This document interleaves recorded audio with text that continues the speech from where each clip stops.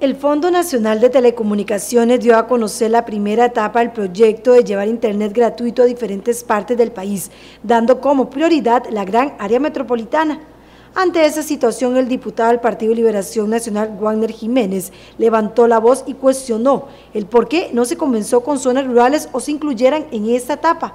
Indicó que en la zona sur hay muchas comunidades donde la cobertura es pésima y no se tiene acceso. Yo he externado mi molestia generalizada porque los recursos de Fonatel se obtienen a través del artículo 83 de la Ley General de Telecomunicaciones, cuyo propósito es disminuir la brecha digital y para ello existe una junta directiva que administra un fondo de eh, de las ganancias que se obtienen en las telefonías celulares, producto de la apertura comercial, llámese público-privado, y le corresponde a esta junta directiva hacer esa distribución.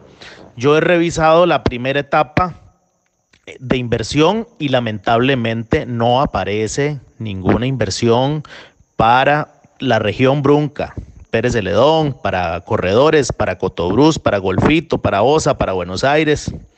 El legislador dijo que Fonatel tiene que garantizar el disminuir la brecha digital en zonas rurales, por lo que considera que se tiene que restablecer una ruta para que se reincorpore, por ejemplo, la zona sur. Entonces yo he externado mi molestia generalizada porque si nosotros lo que deseamos es disminuir la brecha digital como país, debemos iniciar con las zonas rurales más alejadas, lugares incluso donde no hay acceso a la telefonía celular y mucho menos al Internet.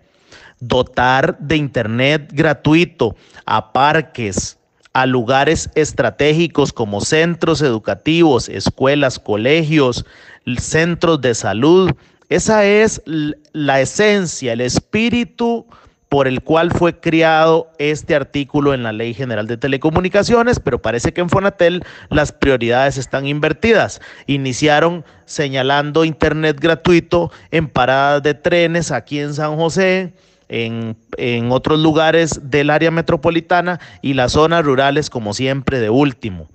Por esa razón presentará una moción para que la Junta Directiva comparezca ante la Comisión Brunca de la Asamblea Legislativa para que den una explicación de por qué se dejaron por fuera.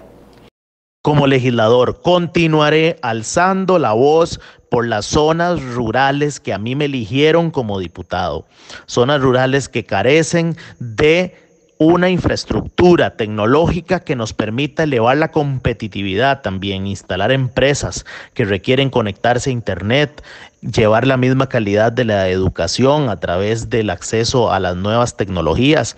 Hoy tenemos escuelas y colegios en la zona sur del país que no tienen conectividad, no pueden los directores, los maestros, los profesores tan siquiera ni, ni descargar una aplicación, no se puede hacer absolutamente nada porque no hay cobertura, no hay acceso.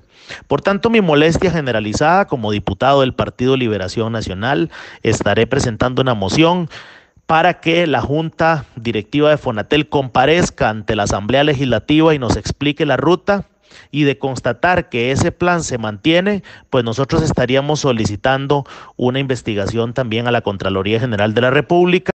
Jiménez indicó que muchos pueblos requieren el servicio y no se están contemplando. En el cantón de Corredores está proyectado invertir en el parque del barrio del Carmen, en el parque Ciudad Neily, en Paso Canoa Centro, en La Cuesta y en Laurel. Esos son los lugares que definió Fonatel.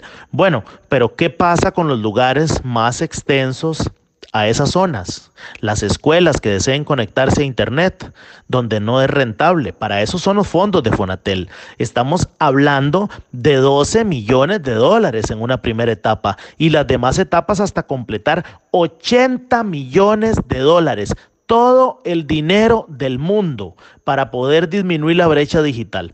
Por tanto, desde el inicio de esta realidad yo quiero hacer énfasis en ordenar la distribución para que al final de la distribución de estos 80 millones no nos salgan con el cuento de que no alcanzó la plata para llevarlo a las escuelas más lejanas, a los colegios más lejanos, a los centros de salud más lejanos y a las comunidades más remotas.